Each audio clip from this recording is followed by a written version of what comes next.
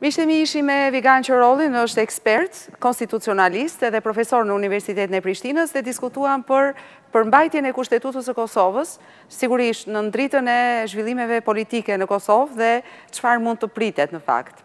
Dhe çfarë pasojash do të ketë sigurisht krijimi i precedentëve kushtetues. nëse mund ta themi kështu me dy fjalë. Do të shkojmë tani në Maqedoninë e Veriut, aty ku do të lidhemi me deputetin e Bashkimit Demokratik për Integrim, me zotin Artan Grubi. Do të flasim sigurisht për një situatë të ngjashme në Maqedoni, duhet të ketë zgjedhje parlamentare, të parakohshme parlamentare, por partitë politike nuk bien ende dakord për datën se kur mund të mbahen. Dhe ndodh në fakt një fenomen që është goxha i ndryshëm nga vendet e tjera të rajonit. Zakonisht opozita është ajo që kërkon të shkojë në zgjedhje dhe sa më shpejt aq më mirë. Në Maqedoninë e Veriut është pozita ajo që kërkon të shkojë në zgjedhje, ndërsa opozita është kundër mbajtjes sa më shpejt që të jetë e mundur. Do të flasim me zotin Grubi dhe të marrim sqarime më shumë se çfarë po ndodh atje. Zoti Grubi, përshëndetje. Përshëndetje, faleminderit për ftesën. Ju falenderoj shumë që jeni me ne në Ballkan sonte edhe për të sqaruar këto zhvillime politike në Maqedoninë e Veriut. Faleminderit ju. Atëherë, le ta fillojmë menjëherë me këtë që duket në fakt një lloj absurdi. Opozita nuk ka asnjë lloj ngutie për të shkuar në zgjedhje, ndërkohë që pozita kërkon të mbahen zgjedhjet me çdo kusht. Pse është kjo situatë atje? Ka ndonjë shpjegim racional, le të themi? Në qoftë se më lejoni vetëm shkurt të bëj një retrospektivë të situatës në të cilën gjendet Maqedonia e Veriut, gjithçka filloi me mosmarrjen e datës për fillim të negociatave për Maqedoninë e Veriut dhe Shqipërinë në samitin e Këshillit të Bashkimit Evropian në muajin tetor.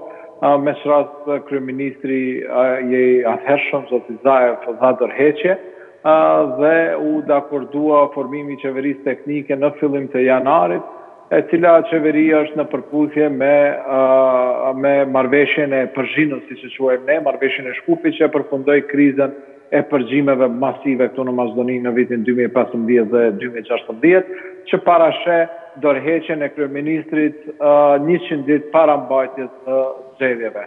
Do të thotë më tre janar ne formuam qeverinë teknike, e cila ka për detyrë për t'i zbatuar zgjedhjet e parakohshme parlamentare, më pastaj në muajin shkurt e shpërbëmë parlamentin dhe përcaktuam bashkarisht datën për mbajtjen e zgjedhjeve parlamentare me dymbëdhjetë prill.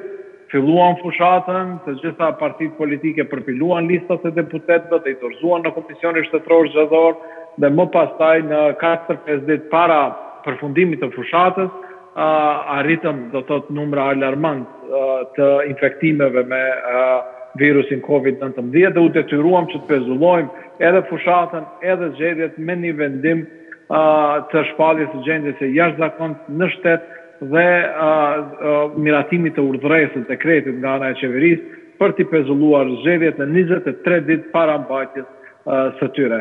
Më pastaj, tashmë të gjithë jeni të vetëdishëm për rrethanat në të cilat gjindemi gjithë si glob, jo vetëm ne si Maqedoni e Veriut, por specifika jonë është që ne kemi qeveri teknike, qeveri e cila është e kufizuar në mandatin e vet dhe nuk kemi një parlament funksional i cili mund të sjellë vendime, ndërsa jemi në gjendjen e tretë të jashtëzakontë të shpallur nga presidenti Pendarovski, gjë që sipas Kushtetutës me do e mos duhet të konfirmohet nga një kuvend funksional, po ja që ne nuk e kemi për arsye se jemi shpërndarë dhe kemi dorëzuar mandatin tek qytetarët. Tashmë kemi rifilluar bisedimet për. mbajtjen e zgjedhjeve dhe ne si shumicë parlamentare bashkë me partnerët tanë të koalicionit, Lidhjen Socialdemokrate të Maqedonisë, kemi treguar gatishmëri që menjëherë pas përfundimit të gjendjes së jashtëzakontë t'i zhvillojmë, t'i vijojmë procesin zgjedhor në qershor apo më së voni me pesë korrik, me ç'rast shohim hezitim tek opozita maqedonase në veçanti VMRO-DPMNE dhe Aleanca për Shqiptarët. për mbajtjen sa më të hershme të zgjedhjeve në mënyrë që të zgjedhim institucione kredibile të cilët do të jenë partnerë për rajonin edhe për institucionet ku ne tashmë marrim pjesë siç është NATO-ja apo vend anëtar për i cili negocion për anëtarësim në Bashkimin Evropian. Mhm. E kuptoj. Megjithatë, ndoshta edhe për ta bërë pak më të qartë për shikuesit, nëse nuk arrihet konsensus midis partive politike për një datë zgjedhjesh, Çfarë ndodh? Pra, kemi një qeveri teknike aktualisht. A vazhdon punën kjo qeveri teknike, apo rikthehet qeveria politike dhe pastaj përsëri një qeveri teknike që duhet ta çojë vendin në zgjedhje në bazë të marrëveshjes së Përzhinës?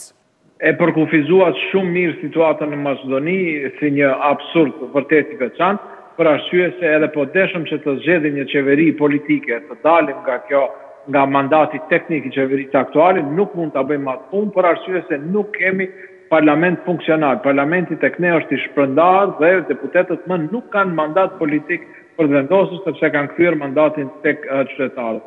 Por, gjithsesi të vlerësoj që ka hapësirë për arritjen e një kompromisi.